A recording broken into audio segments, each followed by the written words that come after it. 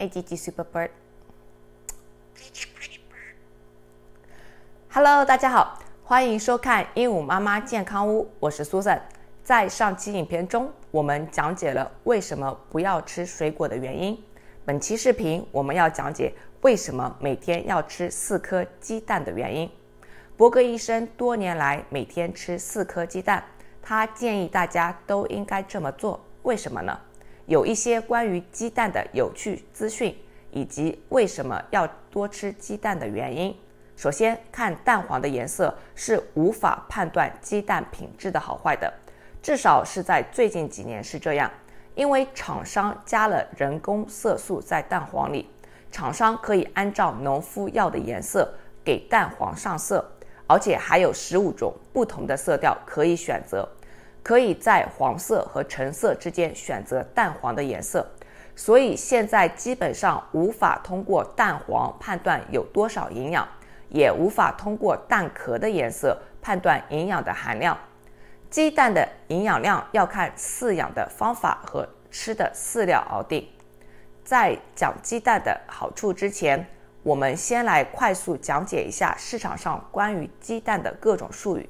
一、自由放养鸡蛋 （free range），这是指鸡不关在笼子里，没有笼子，但是不一定是野地放养的，只是鸡有机会去野地。可能是养在一个鸡仓，开了一个小门通往外面，但是很多鸡是找不到出口出去的。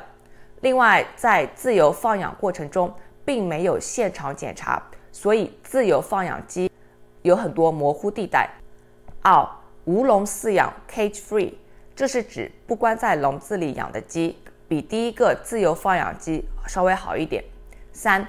A 级鸡蛋是指鸡蛋的外壳形状很好，没有裂缝，这完全是行销术语而已。四巴氏杀菌鸡蛋 （Pasteurized），这不是牧场放养的鸡蛋，只是英文发音和牧场放养的 Pasteurized 类似。巴氏杀菌鸡蛋是指把鸡蛋加热杀菌，可以保存更长的时间。五素食鸡蛋 （Vegetarian Fed）。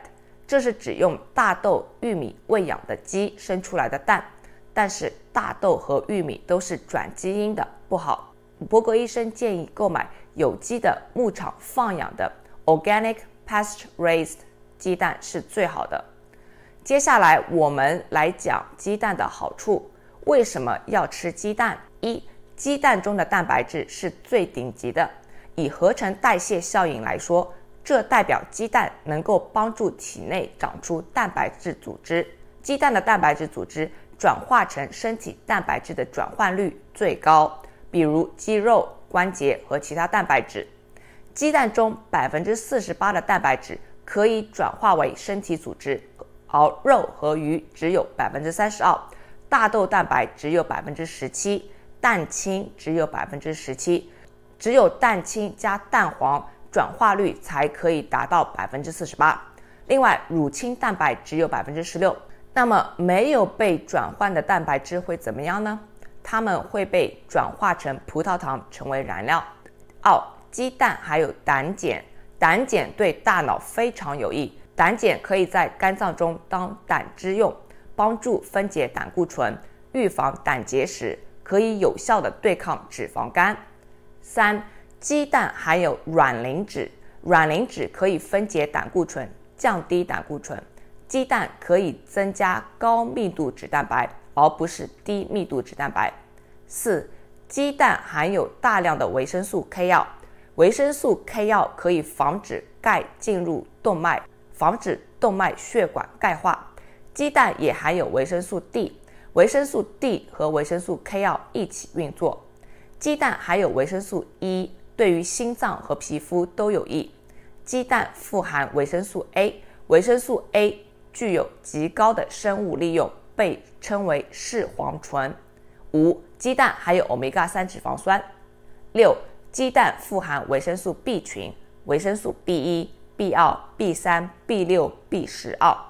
七、鸡蛋含有微量矿物质。八、鸡蛋含有类胡萝卜素，有两种类胡萝卜素。一是叶黄素，另一种是玉米黄素。这两种类胡萝卜素都可以增进视力，帮助水晶体和视网膜，有效预防眼睛黄斑变性，有助于减少电脑、手机蓝光的伤害，对大脑也有很多好处。那么，如何烹饪鸡蛋最有营养呢？因为如果煮的太久，会破坏类胡萝卜素，所以水煮或者一面煎熟一面煎嫩是最好的。如果炒鸡蛋的话，建议是把鸡蛋打在锅里，蛋白变白，然后调小火，然后把蛋白和蛋黄混合，这可以保留较多的营养素。如果在碗里把鸡蛋打碎的话，营养会比较少。现在你知道鸡蛋的好处了。如果个头大的话，吃三到四颗鸡蛋；如果个头小的话，每天吃一到两颗鸡蛋就够了。我现在基本上每天吃两颗鸡蛋。一面煎熟，一面煎嫩。我女儿也是这样吃的。好了，如果本期视频内容有帮助到你，请点赞、订阅，并分享给更多的家人和朋友，和鹦鹉妈妈一起变得更加健康、更加美丽。我们下期视频再见喽！